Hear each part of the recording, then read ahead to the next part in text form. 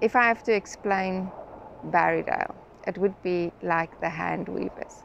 The town is made up out of hundreds of different people, interesting people, and they're all woven together. Their stories are all woven together, which makes up this picture perfect place called Barrydale.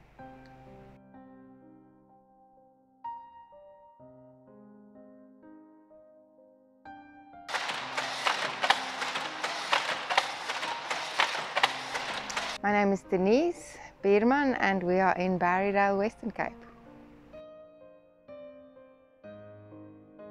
The cliche is the gem of the little Karoo, but I hate cliches and I would describe it as a beautiful village nestled in a valley between the mountains in which a variety of absolutely fascinating people live.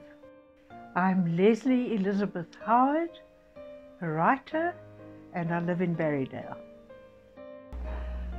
Small town, but getting bigger, which is good and it's bad because it's losing a lot of its um, innocence and charm, I think, possibly.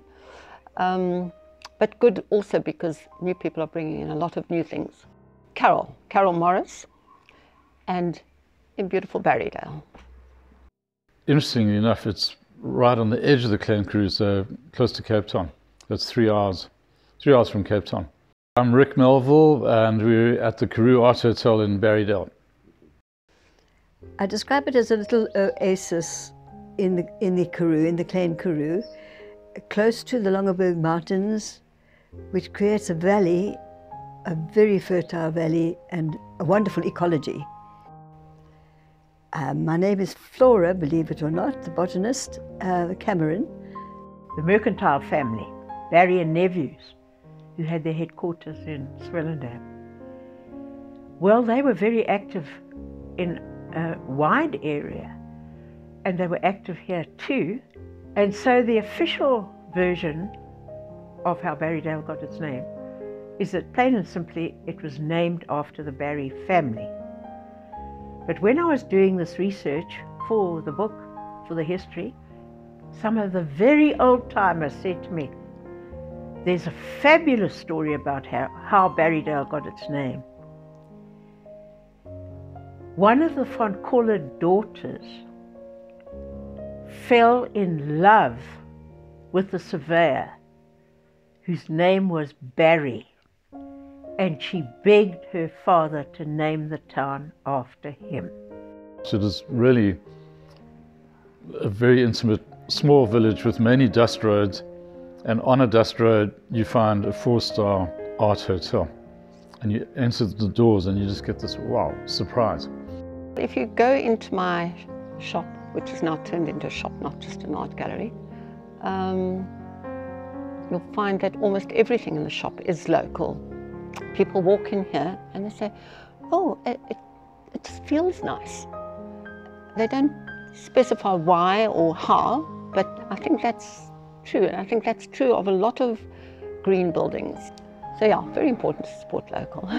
It's hard for me to take credit for the hand weavers because I only bought the business three years ago.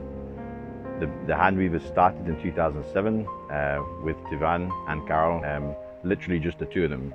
He was weaving the product, she ran the shop and sold the product. I'm Aaron Bastable and here we are at Barrydale Handweavers.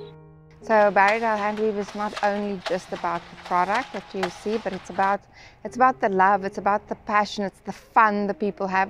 It's like a family. And something of that, I think if it's a handmade product, ends up being woven into the, the product that, that people buy. Yeah, this region is completely important because of this diversity. We've got to, we're accentuating diversity. When diversity is lost, as I said, pollinators are lost, bird life is lost, the health of the soil is lost.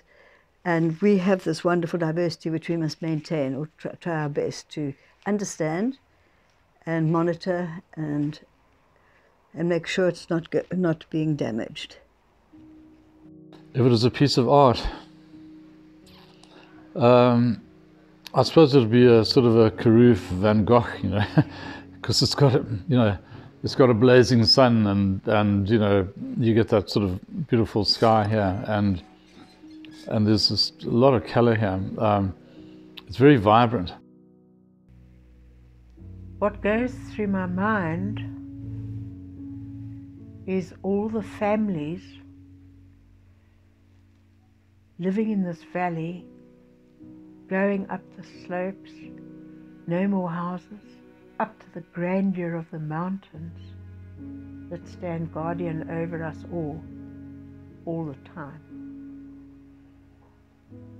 And I marvel at